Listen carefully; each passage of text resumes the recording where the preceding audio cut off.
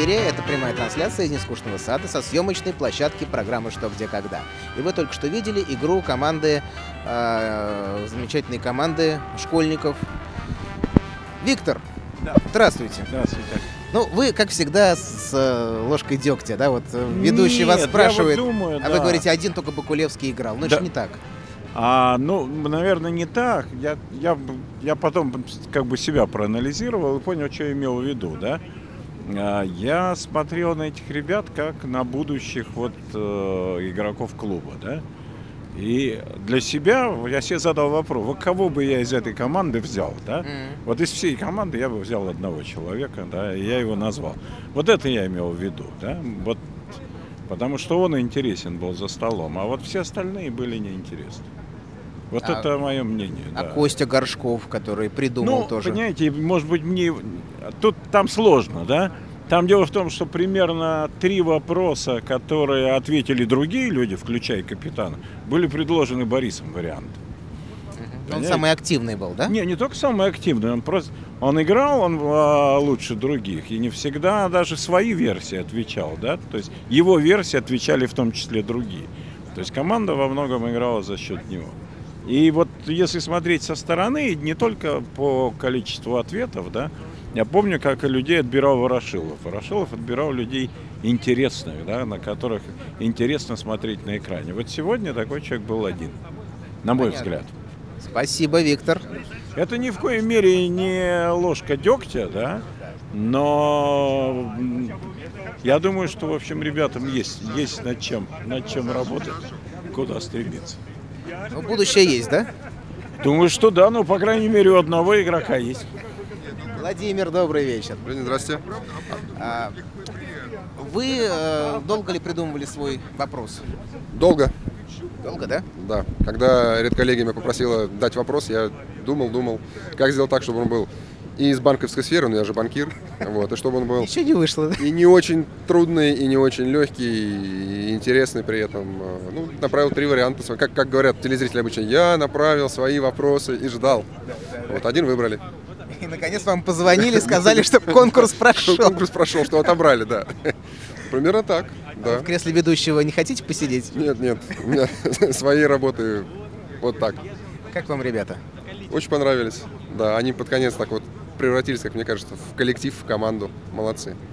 А, Вам только Бакулевский, Борис Бакулевский понравился или вся команда? Нет, почему? Мне кажется, особенно вот под конец, последние два-три вопроса, они стали так вот прям монолитно, монолитно играть. И э, интересно, когда я стою, вот, наблюдаю за игрой э, сверху, да, как вот все в зале, то у меня было впечатление одно. Когда я сел, стал смотреть на ребят, то э, они все, в общем-то, участвуют в обсуждении. Просто кто-то из них ярче говорит и громче, а кто-то нет. Но э, вот смотря в их лица, я понял, что все они участники этой игры, и все они члены команды. Владимир, а это правда, что вы мечтали задать вопрос знатокам? Нет, неправда, нет. Но интересно. Собственно, вы по- э, за стол-то не собирались садиться, да? Нет, я не знал, что надо будет за стол садиться. Я говорю, в 2015 году я А, в в виду. 2015-м никогда не планировал. То есть вот все, что с вами происходит, это не ваши мечты сбываются. Нет, это... э, Уж не знаю, кто здесь этим занимается, этим хулиганством. Я считаю, надо обратиться к руководству Первого канала и сказать, что ну, навели порядок, навели. А то экспромт за экспромтом. Спасибо, Нарушают Владимир. правила. Вам спасибо. Спасибо. Хорошего вечера.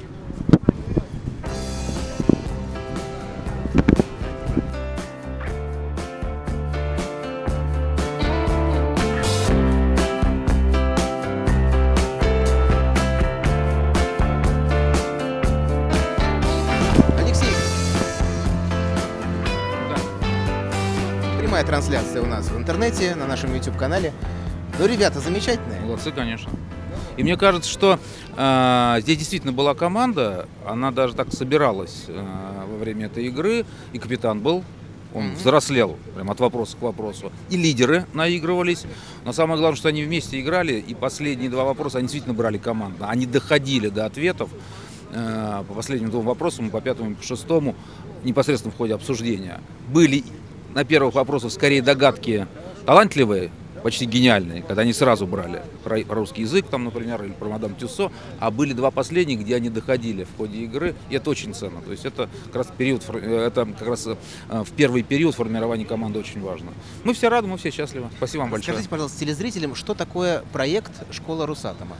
Проект «Школа Росатома» – это реализуемый в наших городах там, где есть предприятия, там, где есть наши энергетические объекты. Проект по работе с самыми талантливыми, самыми целеустремленными ребятами, где специально для них организуется как в рамках программы, так и, что называется, факультативно, целый ряд дополнительных, что ли, занятий и конкурсов. И вот побеждая в них, выявляются лидеры, выявляются те, кто становится действительно сначала на уровне школьников, студентов, а потом уже во взрослой жизни нашим главным кадровым потенциалом, кадровым резервом. Ну, команде Рудера можно спать спокойно. Э, команда гостевая, получается. Она не, в- не в сезоне. Мы ждем их возвращения, правильно? Да, да. А Если говорить про Рудера, мы надеемся, что, может быть, ему удача улыбнется, повезет, и а, а- окошечко возможностей откроется и в этом году, теоретически это пока существует. Но по правилам он должен пропустить сезон. По правилам. По правилам, да. Да. Если не случится каких-то непредвиденных обстоятельств. Э, Но я думаю, что эти две команды будут друг друга дополнять.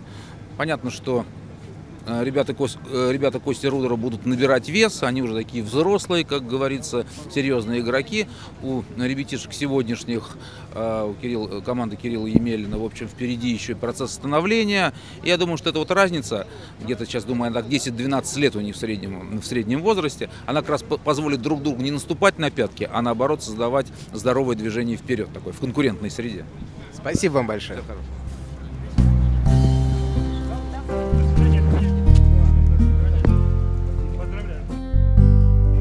Вот Боря Левин, который придумал умный вопрос для знатоков. Умный, Но фотография была, конечно, шикарная. шикарный. По-моему, я лучший был, нет? А, а тебе самому какой вопрос больше понравился? Ну, самый что где кадашный вопрос, конечно, был у Миши Скипского. Где- Когда, Ага. Когда ни- ничего не надо знать, а просто надо сообразить. Вот, вот, вот она ситуация. Чем-то похож на вопрос Азарьева, да? Ну, в принципе, да, если так глобально, то чем-то похож. Хотя тот, конечно, вообще отличный. Этот, ну, этот из той же серии, правда. Миша Если- отыгрался на детях. За зим- Миша отыгрался на детях за зимнюю серию. Сделал вопрос по той же схеме. Вот. Я Вот как думаю- спрашивал, Да. Про- Кстати, Равшан, а почему ты не задал, не задал вопрос? ну я послал, видимо, Не оказался прошел хуже. отбор. Не Да, прошел да. конкурс, Но да. зато мне вот ты спрашивал перед игрой. Вот, как мой сын. Я сейчас звонил, спросил, он сказал, ответил на два, все вопросы, кроме двух. Страшно собой гордиться. Вот, так что Здорово. вполне мог бы и попробовать. Я надеюсь, мы пройдем отбор по-другому. Знаешь, по этой Со- Новую, новую династию создаем, в противовес друзьям. Свежие девочки в команде. Ну зачем? Свою команду создаст. Будет команда второго. Девочки Да. рядом, девочки все слышат. Не, не, я говорю, что мой сын соберет свою команду своих Да, девочек. мы уже староваты будем, к сожалению. Вот, а, кстати, у, у Равшана Аскерова, ты же за- задавал вопрос в 2005 году, да? И у тебя а, два раза причем. У тебя Да. статистика 1-1. То Да. есть, да. А у Бори Левина Причем один вопрос играл. 2-0. 2-1. А 2-1. 2-0. Ну, Ты, ты три раза играл. А значит. когда я третий раз сыграл? 92 год, помнишь? А, ну вот это, да, я еще по ту Я сторону думаю, что экрана. нам сейчас покажут э, кадры 2005 года, где Борис Левин Я расскажу историю сидит, 92-м э, подожди, сидит э, за игровым столом на минуте обсуждения и строит ружи. Помнишь, как ты глазами? да, да, а можешь кривлялся. на бис сейчас? Ну, Я уже не помню. Ну, как-то кривлялся, да. Смущал телезрителей. Детей не стал сегодня смущать. Дети, дети, дети цветы жизни. Дети наше все. Зачем детей смущать? За детей я болел. Расскажи про 92 и мы покажем фрагмент. Ну, там была такая история, где я сам себе, как унтер-офицерская вдова, сама себя высекла. Я просто отправил, ну, не секрет, что Ты письма... еще не был тогда знатоком. Я не был знатоком. Нет, я уже был знатоком, как бы Но не был в клубе. движении, но не был в клубе, да. И я отправил вопрос, не секрет, что вопросы лежат и по году, и по два, и по три. Я отправил вопрос, я что, об этом не знал, я же не был знатоком, как ты говоришь. Я отправил Ну, вопрос. Сейчас не знаток, я тебя умоляю. Какой Хороший вопрос отправил. И он не играет и не играет, не играет, не играет. Он больше года пролежал, а то и даже около двух лет. А в Одессе был конкурс вот среди клубов там а, на лучший э, набор вопросов от клубов. И я от Горловского клуба тогда сделали мы такой набор, не хватало одного хорошего вопроса, чтобы бороться за первое место со всеми клубами. Я решил, ну раз он уже два года там не играет, видимо, он так и не сыграет. И я вставил этот вопрос туда, в этот, в этот набор в Одессу. И он сыграл, мы там выиграли этот конкурс, надо сказать, выиграли. Он там сыграл, и буквально проходит месяц, и он звучит вот здесь в домике. А там были знатоки, которые играют здесь. Команды Блинова, да? Да, и там и, и Федя Двинятин. И Федя Двинятин, естественно. Мы про другого Блинова. Да я поняла. Федя Двинятин слышит вопрос, он его слышал месяц назад в Одессе, играл на него, там был этот конкурс. Он сразу ставит палец и берет его, и... а я кусаю локти. Вот такая история, вот это урок телезрителям. Если ваш вопрос не сыграл, это не значит, что он не сыграет вообще. Не надо. Если вы его отправили сюда, ну, в телеигру, то забудьте о его существовании для других игр. Не светите его. Он может всплыть через два года, через три, даже через пять. И вы заработаете своим собственным умом. Ну, даже тут не смысл в том, что заработаете. заработаете Приятно да. всегда. Но все равно вы Если есть чем заработать, да, Равшан? Да, более, Не у того, не у того спрашиваешь. В общем, и вы тогда сыграете здесь э, на центральной арене, так сказать, что я В когда центральном телевидении. на центральном более, более телевидении. как клоуну привычнее арена. Это Кто из вас клоун, это большой спортивное вопрос. соревнование. Да. Э, Спортивный А, вот термин, да. Ты уже давно забыл, когда был спортивным журналистом, поэтому что, что я тебя спрашиваю? А вы сейчас в каком издании работаете, Борис Ефимович? А я еще помню. А реклама у А, нас в запрещена. сегодня не работает, но помнит. Э, Спасибо вам, господа. А мы напомним телезрителям этот замечательный вопрос 92 года. Внимание на экран. Да. Против знатоков играет Борис Левин, город Горловка. Внимание. В этом черном ящике находится приспособление для проведения спортивных соревнований, популярных сейчас в колледжах государства Заир. Зафиксирован рекорд этих соревнований. Высота 4 метра, время 25 секунд, диаметр 12 сантиметров. Внимание, вопрос. Что черном ящике? У вас Отвечает Александр досроч- Друзь. досрочный ответ. Кто отвечает? Александр Друзь. Александр Друзь рискует. Итак, э, мы считаем, что в этом черном ящике приспособление для выдувания мыльных пузырей. Таков ваш ответ. И это совершенно правильный ответ на этот вопрос. Мы можем продемонстрировать сейчас его. Но вы понимаете, что такое мыльные пузыри, пузыри в государстве Заир. У тебя усы а-ля Мун, да? Нет, не Алямун. Нет. Что что-то есть. А, Твой вопрос не сыграл. Очень ли ты Да, расстроен? очень жаль. Еще так вот получилось, что два авдеенковских Да. вопроса э, остались лежать рядом, не разыгранными. Но... Ты видишь в этом особый знак Ну, судьбы. не знаю, как-то. Я просто вижу то, что осталось на столе. Вопрос от Овдеенко и вопрос от Авдеенко. Насколько ты склонен к мистицизму, просто мне А, интересно. Нет, в этом случае нет. Ни- Никакого мистицизма Как просто. э, и- ребята тебе? А, Мне очень понравился Борис. Вот он прям готовый игрок. э, И но на моем опыте, э, на моей памяти было такое, что какого-то из молодой команды брали человека и сажали в опытную. Ой, извини.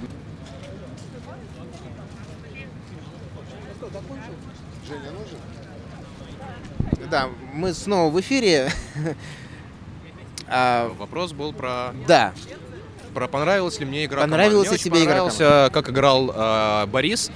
Вот. а, на, моем, а, на моей памяти было такое несколько раз, когда игрока из... а, да, я хотел сказать, что он прям вот готовый сложившийся игрок. Его можно уже сажать э, в готовую сложившуюся команду, да? Вот. и если такие случаи раньше были, человек э, начинал стесняться, тушеваться как-то, мне кажется, он вот... у него есть эрудиция, у него есть логика, и вот эта непосредственность, с которой он общается с командой, с ведущим, то есть его ни- ничего не смущает. Вот, мне кажется, хороший старт. Вот, и у него, наверное, большое будущее, если он решит продолжать э, на этом поприще. ему будет приятно посмотреть эту трансляцию. Спасибо, Надеюсь. спасибо, Дим. Да, пожалуйста. Михаил Скипский. Добрый привет. день, вечер. Да, Здравствуйте. во- Во-первых, а, нет, сначала про игру. А, замечательный вопрос. Все Спасибо. очень оценили. А, Ну, я пошел по стопам, как мы видим. Азарьева, да. Азарьева, да, потому что до сих пор, конечно, под впечатлением этого вопроса. И, ну, чем дальше, да, от финала года, тем справедливее, да, то, что мы не выиграли, потому что на такие вопросы нужно отвечать. Ребята, как? Берешь к себе в команду? Одного бы взял. может быть, двух. Бакулевский. Букулевский и вот братишка. И бра- братишка, юноша, проходящий под именем братишка. Мне, честно говоря, команда показалась довольно однобокой, что половина ребят отсидела прям без э, каких-то там реплик, без... Может, они испугались, мы Может бросим быть. сегодня еще. Но, ну, правда, да, вот, э, ну, соответственно, Бакулевский, конечно, на себя очень много дел тянул. Когда он не тянул, то и вся остальная команда сильно проседала.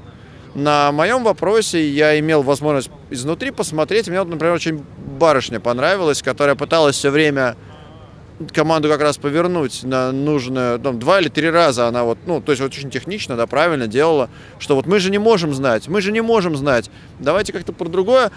Ну, она так это все тихо и делает, а вот товарищ Букулевский, он прям, конечно, вот там хватает всех за горло, трясет, и его невозможно не слушать. И если вот он говорит, он похож на Илью Новикова, может быть, да, если он прав, он может один вытащить игру, а если он не прав, он может один легко за команду затоптать. Он, он- он может, он догадывается, он не только играет на эрудиции. Я хотел сказать по поводу твоего вопроса. Вот. Сначала я подумал, что во- вопрос, э, и- и так называемый питерский вопрос, где ответ в самом, в самом вопросе. Вот. А потом я вспомнил про выход из плоскости, в за какую команду играл этот человек, Зотов, Александр Зотов. Я подумал, что- Злобин. Злобин, да. Я подумал, что он играл за команду «Зенит», поскольку Миша из Питера. А мне очень понравился капитан. И я считаю, что огромная заслуга капитана в том, что команда сегодня победила. И не потому, что я сам капитан. Я когда был за столом, например, вопрос о шахматах, это у него было...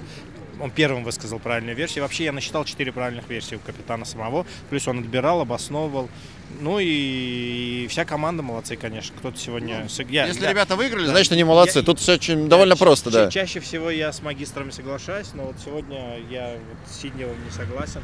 Это не команда одного игрока. Э, Они все молодцы. И хочу их поздравить, конечно. Я рад, что есть такое поколение. Я хочу поздравить Мишу с рождением сына. Спасибо. Сын Петр. Вот мы сейчас видим на экране фотографию Нади, жены твоей. Не Да, знаю, видите ли вы на Я экране. на- надеюсь, это как режиссер наш найдет эту фотографию или нет. Да, и сам Петр. А в честь кого назвали? Никого. В общем, так, просто подбирали, подбирали имя. Питерское имя. А, кстати, да. Питерское, да. как- Я, Я я сразу- так и думал, что Миша назовет сына Петром. И замечательный малыш, очень похож на Мишу. Петр Михайлович. Логично. А почему в социальных сетях вы его именуете Барсуком? Барсуком.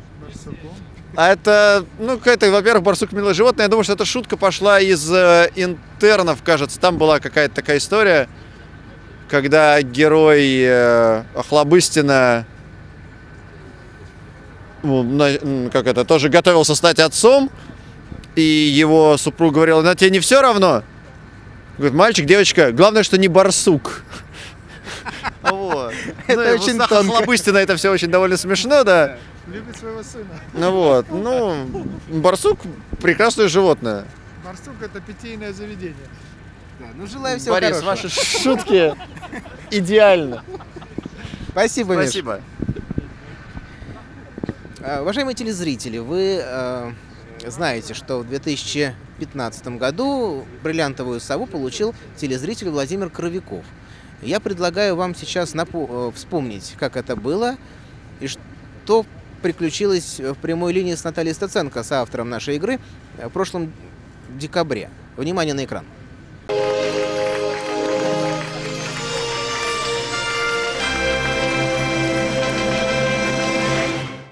Вот я знаю, что после того, как вы посетили э, наш прямой эфир и неожиданно для себя стали обладателем бриллиантовой совы, а, вы горите желанием попасть снова сюда и пытаетесь шантажировать, извините меня, тем, что приобрели какой-то артефакт, раритет, связанный с Ворошиловым, Это- который...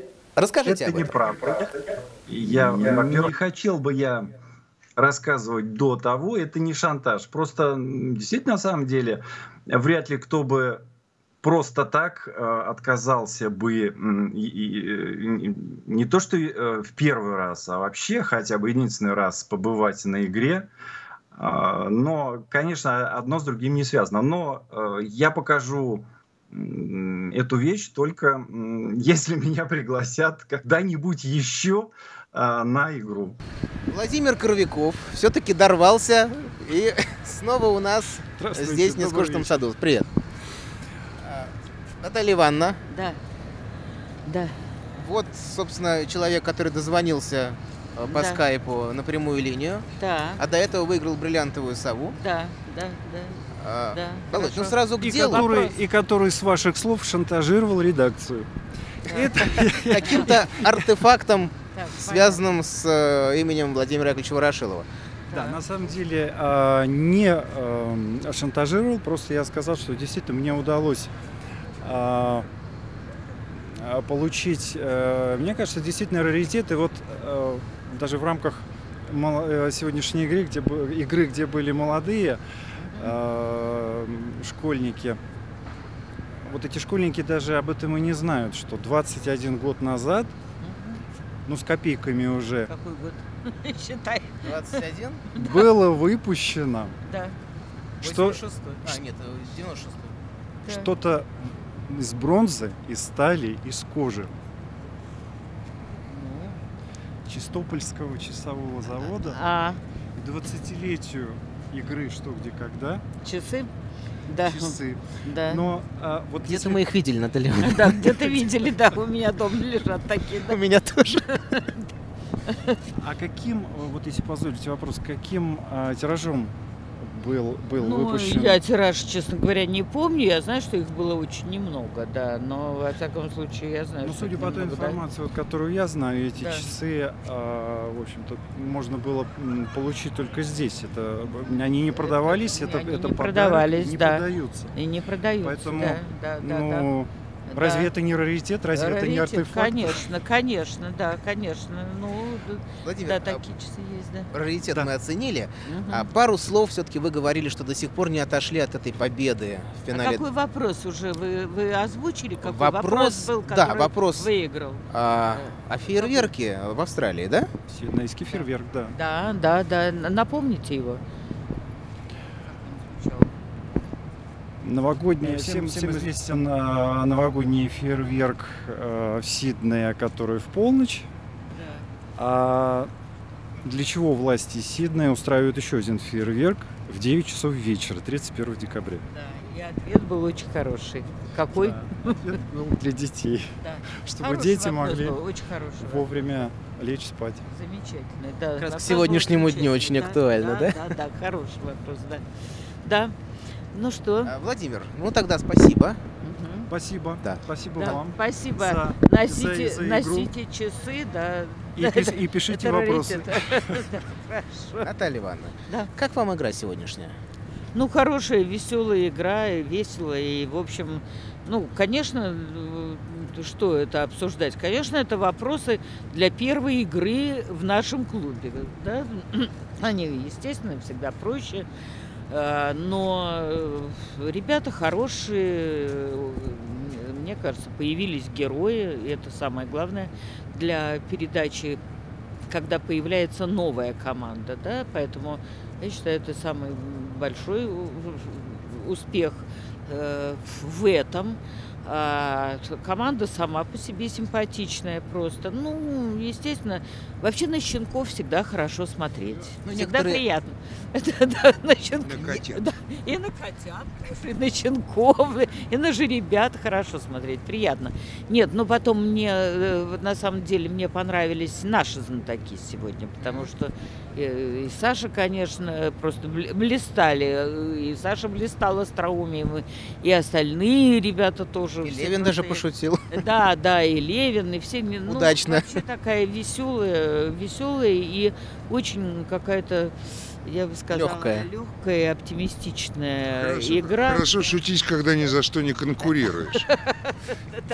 Я теперь поняла, что тебя сдерживает. Нет, ну да, там. Но у А тебя были несколько классных шуток, молодец. отлично, отлично.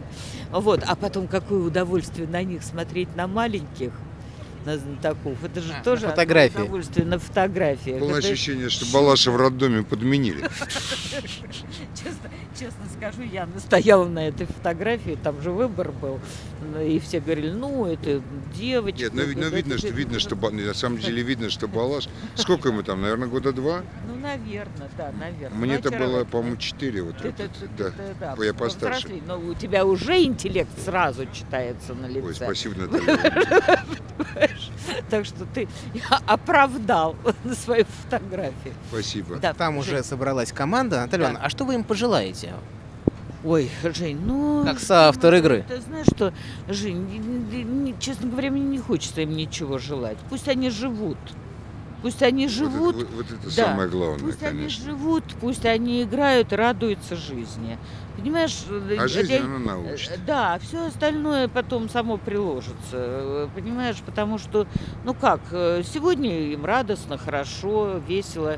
Э, В следующий раз, если придут этой же команды, получат в лоб, так называется, да. Это что тоже хорошо. А как они выберутся, ну, это, это еще детский сад. Детский сад. Ну, молодцы. Все равно молодцы, хорошо, хорошо. Все равно, мне кажется, были приятно. опасения э, на тренировках, что... Я, да, я Да. сегодня с утра, честно говоря, мне донесли, что они э, могут вообще просто молчать. А, Я Но этого, на тренировке. этого это не происходило, слава богу. Э, Просто мне редакторы сказали, что они вообще просто Может, э, молчали и все. Да, да, да нет, нет, не знаю.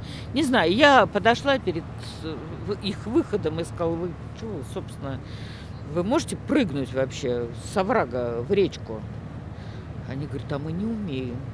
Я говорю, ну так учитесь, побалдите немножко, просто поиграйте. Нет, ну молодцы, молодцы, все Наталья равно Ивановна, приятно. вот ваши приятно. слова, это, в общем... Вот, как, вот, черт, я не знал, я переживал, что они могут проиграть, особенно при счете 4-5, но если бы я знал, что вы к ним подошли перед игрой, я бы не волновался. Нет, ну, я много ничего не сказала. Они вообще. Нет, ну, а вы, а, знаешь, вы, а вы, знаете, вот вы как раз про из тех, вот, про которых говорят, что он говорит мало, но говорит смачно. А, вот ты- вот. а, знаешь, э, они, я их даже не видела на отборочном туре толком, поэтому а меня они вообще не поняли, кто к ним подошел, понимаешь? Ну, так, может, это и тогда- хоро- это это и и хорошо, хорошо, да, я учту это на будущее. Нет, есть такое, знаешь, вот, э, вот как тебе сказать, вот и- и у меня был такой эпизод, почему я им еще сказала, надо прыгнуть, да, потому что, вот я помню, у меня такой эпизод был в жизни, когда я с Мишкой, с внуком, да, на- там был такой аттракцион, надо было с огромного, ну, вообще-то это высота четырехэтажного дома. Вот такой овраг. А 15 внизу метров, речка. 15 метров. Внизу примерно, да. речка. И надо было в нее прыгнуть. И я понимала, что он страшно боится. Он стоит белый и не может себя заставить прыгнуть. Я сказала, тогда давай я тоже прыгну. Вот. Он прыгнул.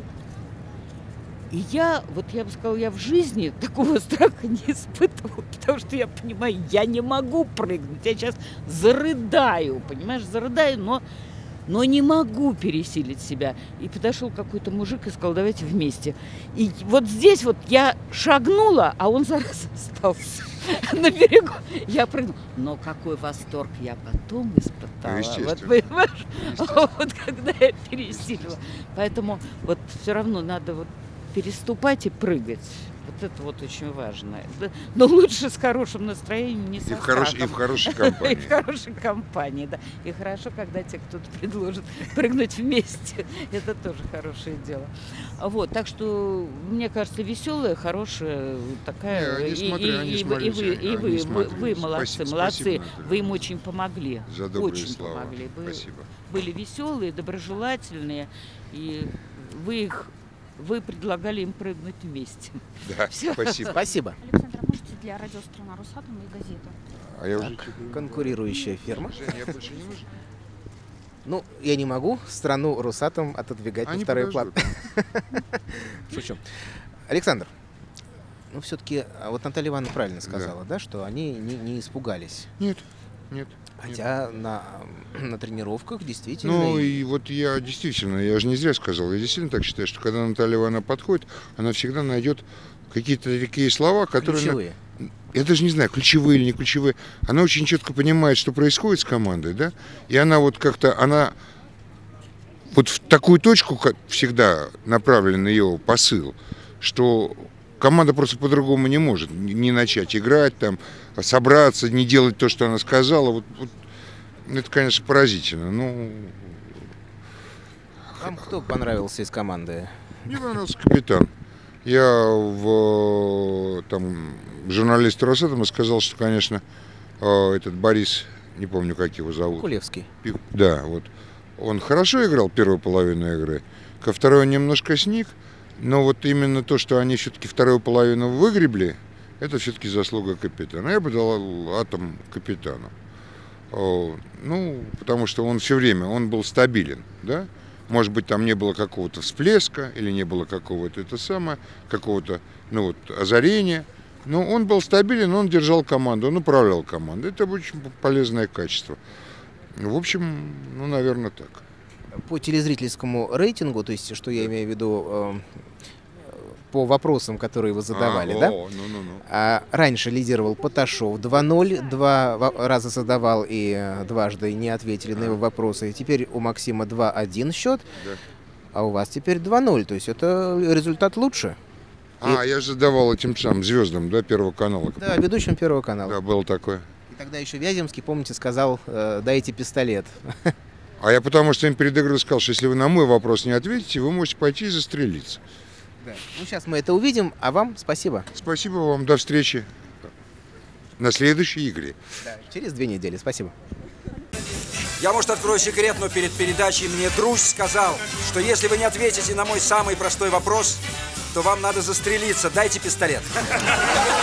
Вы знаете, мы предусмотрительно, у нас только автомат есть э, на фотографии господина Друзья. Это Больше у нас... жестоко! Девушка. Спросите вы, уважаемые телезрители, я скажу, что это Полина Андреевна Лысенко. Привет, Полин. Привет, Жень. Почему она в красном, спросите вы? Покажи, пожалуйста. Вот эта замечательная красная жилетка. У тебя сегодня дебют, я тебя поздравляю. Спасибо. А, в роли распорядителя игрового зала. Верно. Ты крутила волчок сегодня. Понравилось? Конечно. Как это может не понравиться? Сколько лет ты к этому шла? С детства? Можно так ответить. Не, на самом деле для меня была неожиданность, э, что вот мне предложили такую роль, но я с удовольствием согласилась на нее. А, Знаешь, э, Борис Фукс, э, сын легендарного Александра Фукса, нашего оператора, а, крутил «Волчок» 15 лет. Знаешь, сколько раз он, сколько передач он проработал? Сколько же? 265. За Неплохо. 15 лет.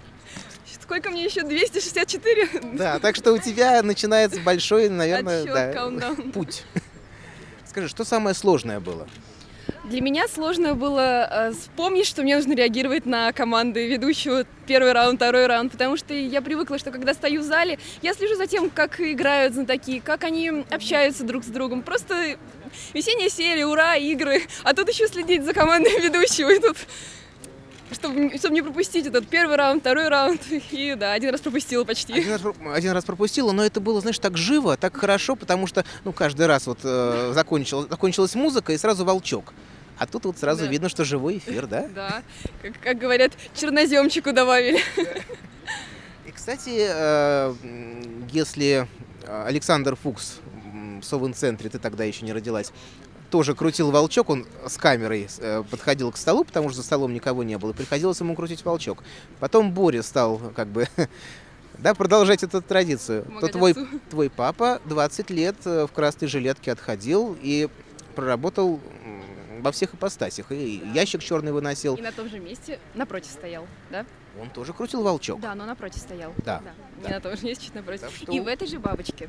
В этой же бабочке выходил. вот та самая Это бабочка? та самая бабочка. Может, мы ее разыграем как-нибудь в трансляции? Нет, она моя. А, там просто надпись на ней, э, я даже не, не прочитала, что там, но я когда ее получила, я у- посмотрела и показываю папе. И папа говорит, так это же та самая бабочка. И это действительно как такой талисман, не знаю, ну, мне стало очень приятно, что это именно та же, как такая наследственность, не знаю, как это поколение. Удачи тебе. Спасибо большое. Спасибо.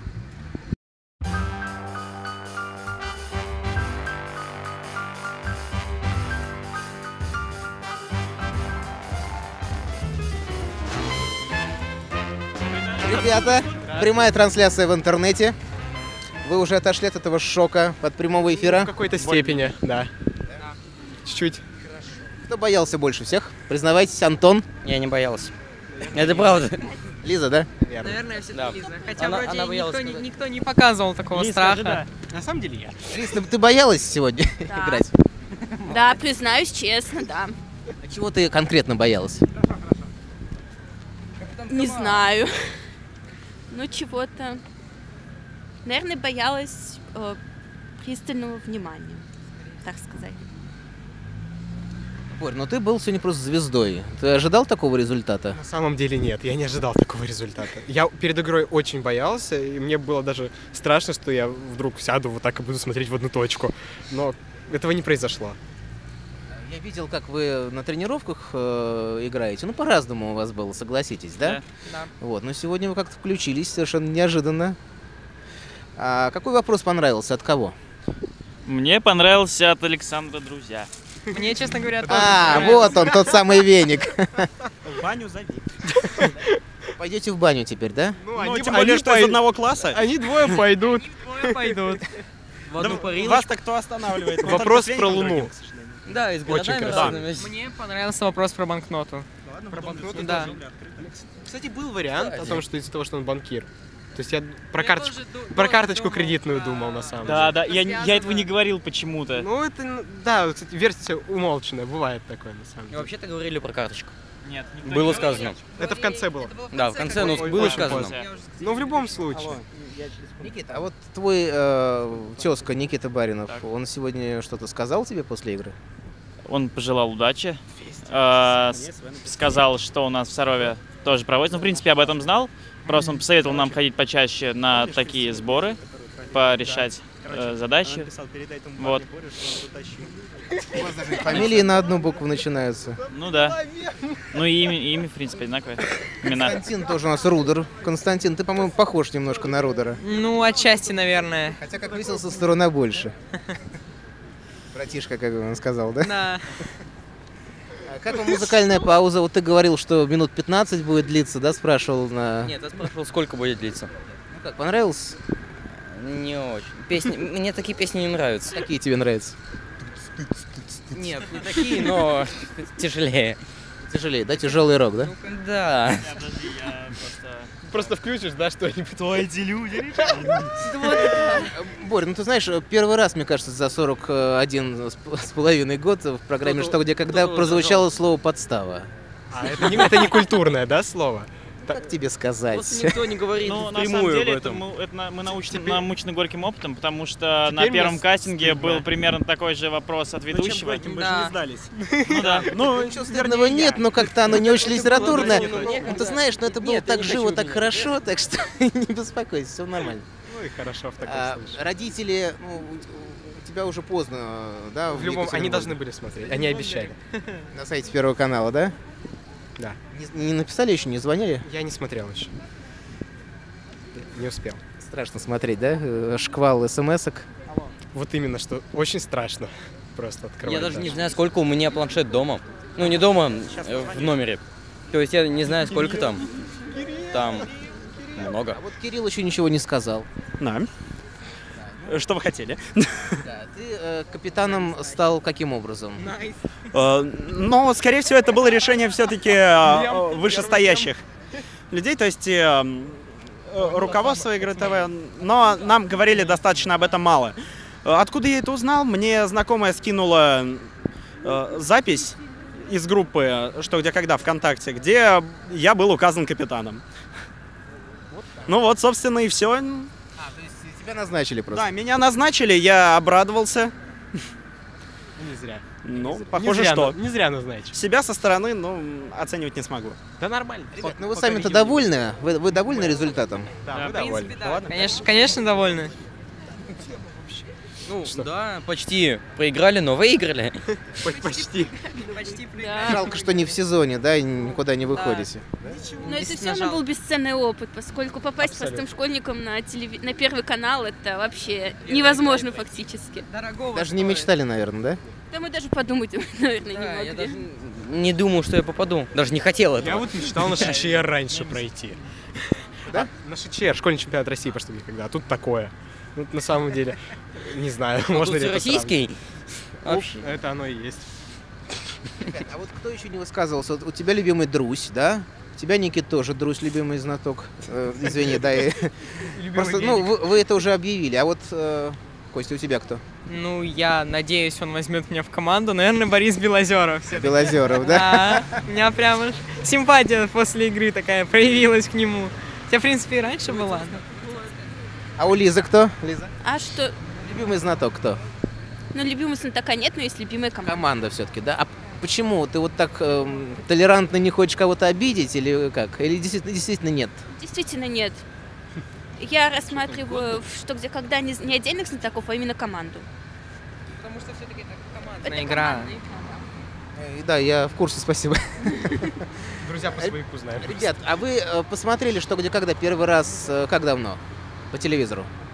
Года три назад, наверное. Случайно. Случайно? Случайно, я даже не знал про эту игру. А после этого смотрел еще? Мало, но смотрел. Да. Пару раз, да? Почти. Четвертый, пятый. Но смотрел. Вот я здесь, да. Упс. Неожиданно, да? Нет, Пять раз посмотрел, и хоп, абсолютно играю. неожиданно. Ну, Боря явно фанат э, игры «Что, где, когда», да? Не знаю. Он фанат чувствуется. Посмотрим, наверное. Ну, на самом деле, я пять лет в это играю уже. Я уже пять лет сижу. Ну, я, правда, в спортивно играю, но в любом случае. Эта игра мне нравится, определенно. А если позовут еще раз, придете? Конечно. Коне- Да. Конечно, Да. бесспорно. А у нас есть другие варианты? Вас с Росатом решает, да?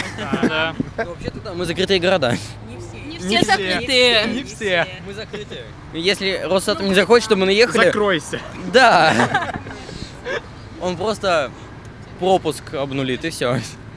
А, Наверное. Даже, даже так? У нас Да, у нас- пропуском не Русатом замедует. Ха.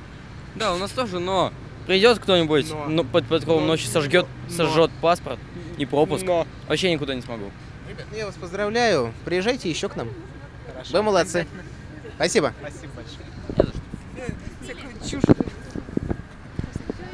А сейчас давайте посмотрим а, на нашего музыкального гостя.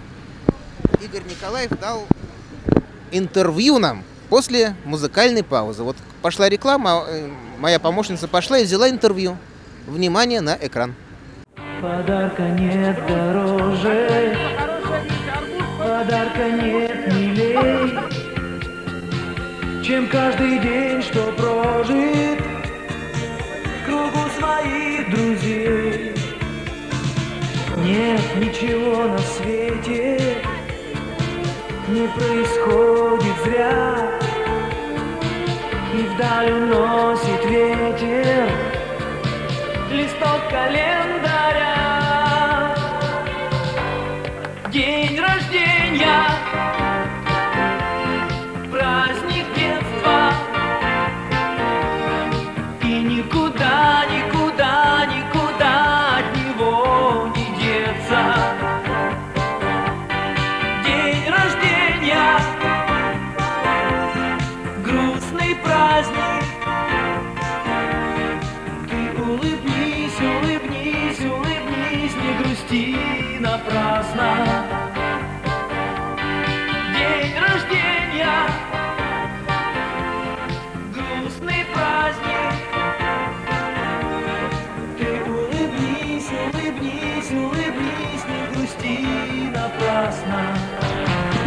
Добрый вечер.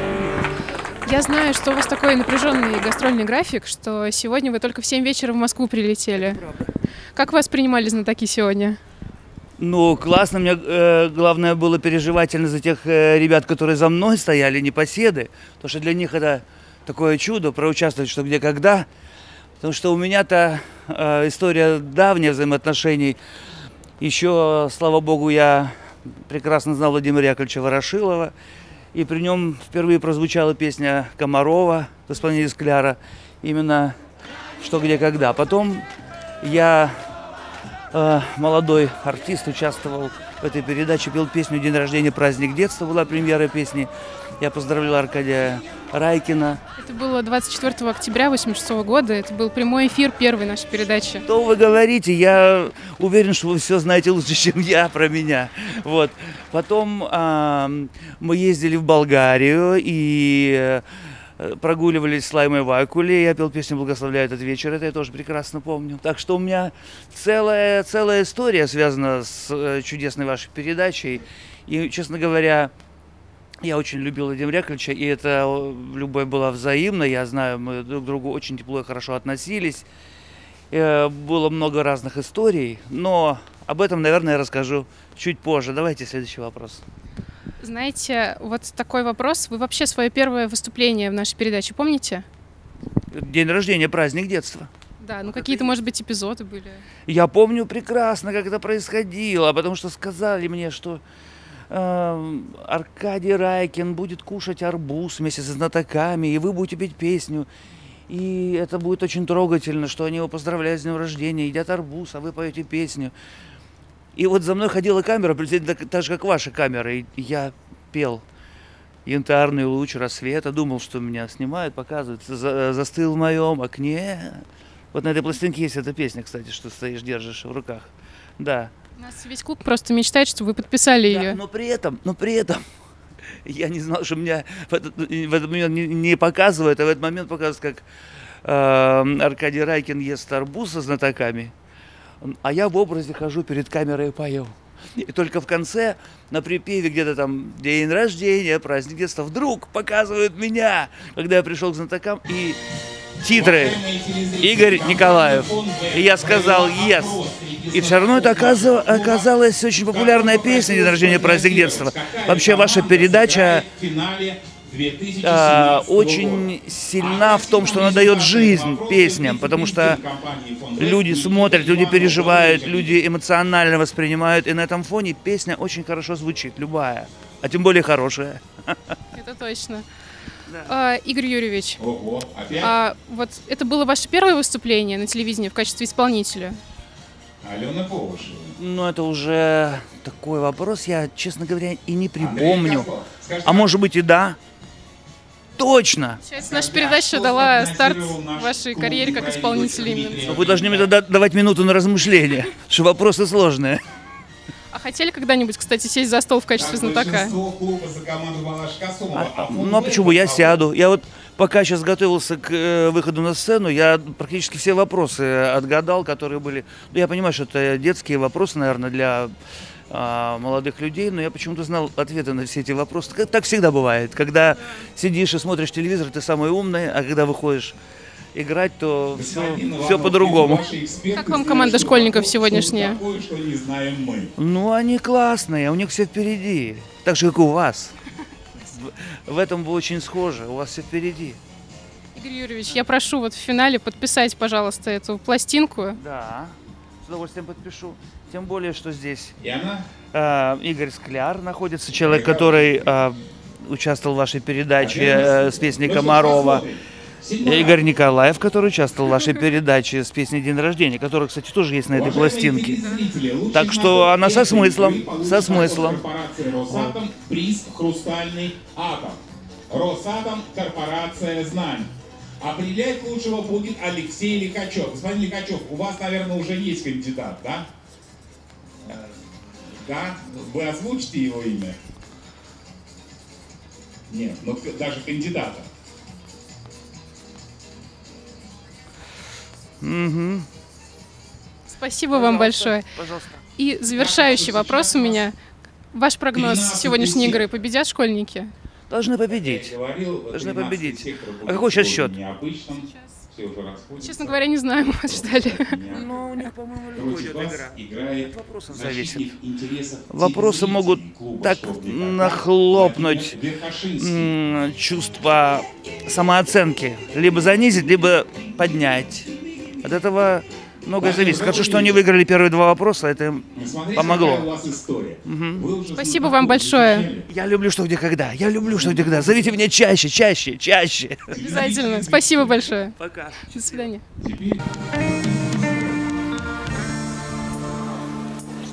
Nos позолотой вечер город наряжает Играет музыка негромко тишине.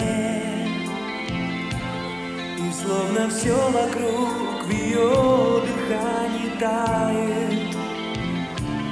А для меня вся эта музыка в тебе. И словно все вокруг в ее дыхании тает. А для меня вся эта музыка в тебе Благословляю этот вечер. Твои глаза,